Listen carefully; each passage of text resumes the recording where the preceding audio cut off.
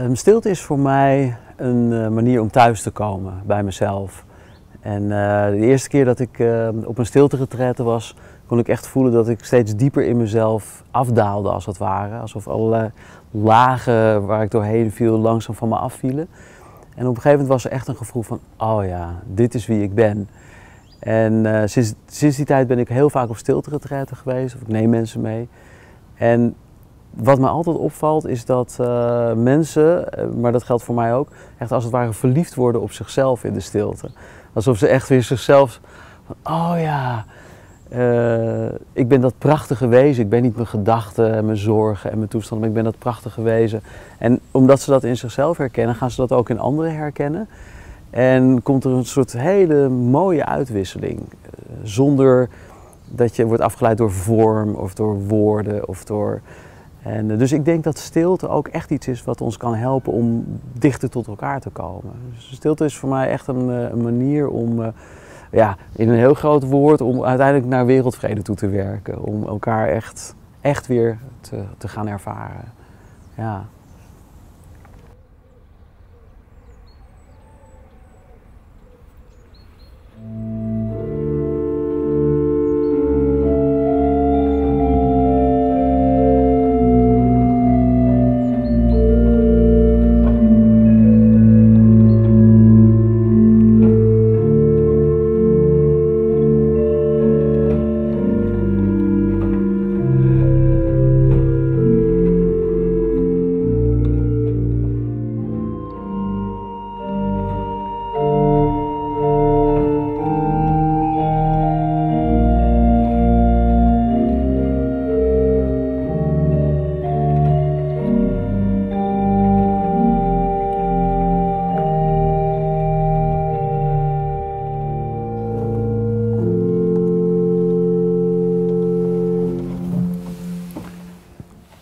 Stilte is voor mij vrij zijn van gedachten.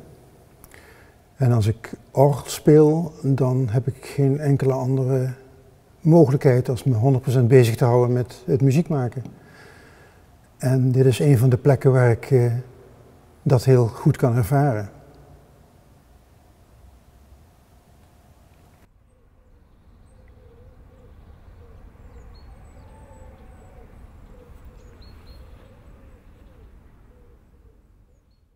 Um, als ik stil ben, of vooral een hele dag, dan is het uh, ja, alsof er een soort rust over je komt. En het is niet een rust die je zelf maakt, want je doet eigenlijk niks. Je stopt juist met iets, met communiceren. Um, en daardoor ja, komt het eigenlijk naar je toe, de, de rust. En dan, ja, dan ben je veel ontvankelijker eigenlijk voor wat je, wat je om je heen hoort wat voor geluiden er zijn.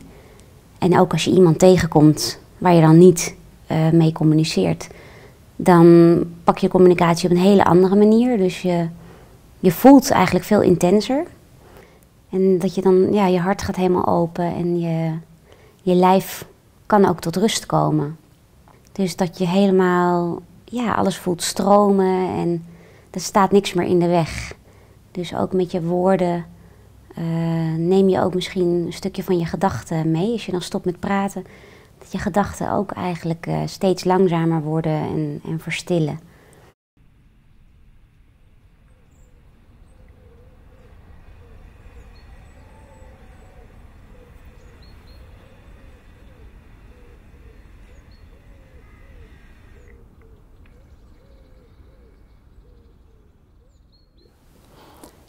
Stilte Stilte is voor mij een plek. Stilte is een niets, diep in ons. Een plek waar we contact mee kunnen maken.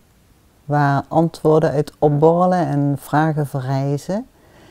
Het is een plek die uit kan dijen als een veld. En waarmee we steeds weer ook in contact met anderen kunnen zijn. En als kindercoach wil ik graag de ouders uitnodigen om van daaruit contact te maken met hun kind en daarin samen te zijn.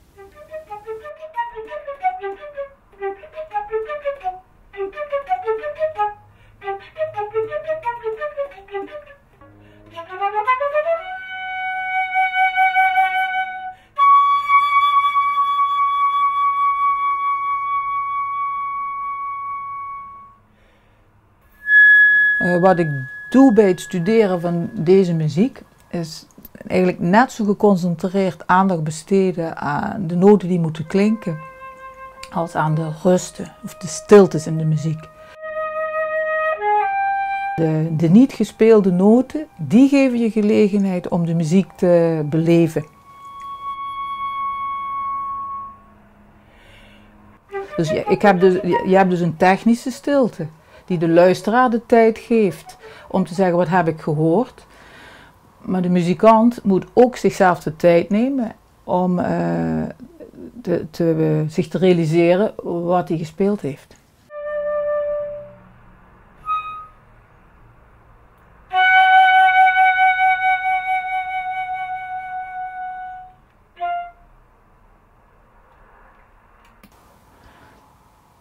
Zonder stilte zou muziek alleen geluid zijn.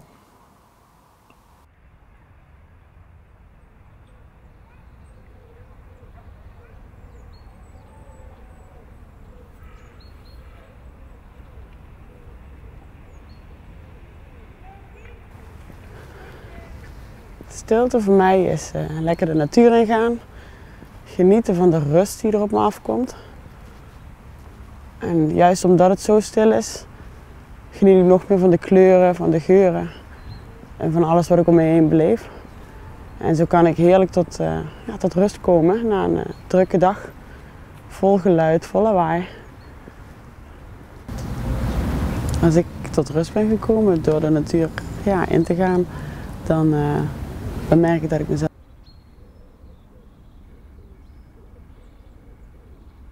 weer heel erg, ja, dan merk ik dat ik mezelf kan opladen. Dat ik uh, weer vol energie stroom en dat ik uh, me weer fitter kan voelen. Wakkerder, lekkerder, rustiger.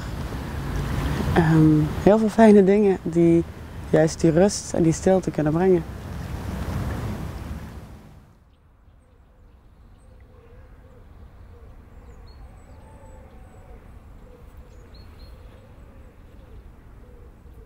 Stilte betekent voor mij uh, de stilte van binnen.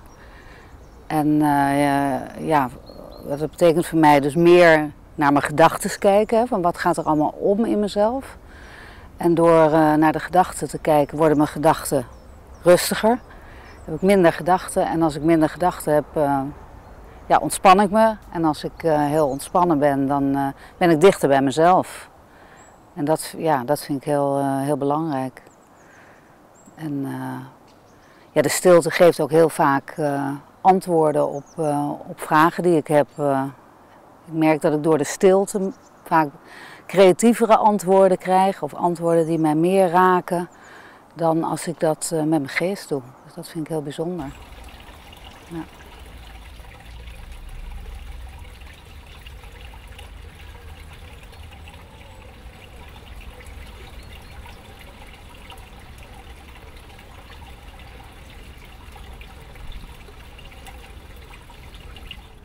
Stilte is heel belangrijk voor mij, uh, eigenlijk op twee manieren. Uh, omdat ik in stilte uh, zuiver kan waarnemen, dat wil zeggen zonder tussenkomst van mijn geest, zonder dat ik er woorden bij benoem.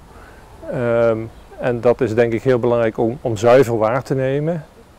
En het tweede, dat is een, een, een, een belang wat er de afgelopen maanden voor mij heel sterk bijgekomen is, is namelijk de balans tussen zijn en doen. Als je in stilte bent, dan, uh, dan ben je. Um, en dan sta je wat losser van je drives, van je acties die je wil ondernemen, van je egoïsme, van je ambities. Um, en dan uh, is het wat uh, gemakkelijker om vanuit de zijnstoestand te reageren als je in stilte bent.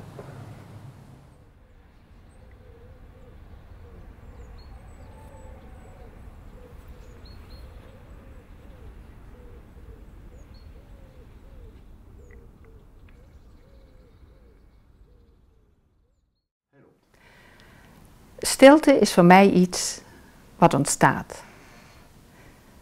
Als alles in die ruimte in harmonie is. En ik ervaar stilte als een plek van waaruit schepping mogelijk is. In die stilte kan alles wat zich in die stilte bevindt, in de vorm komen. Daar, daarachter, heel ver,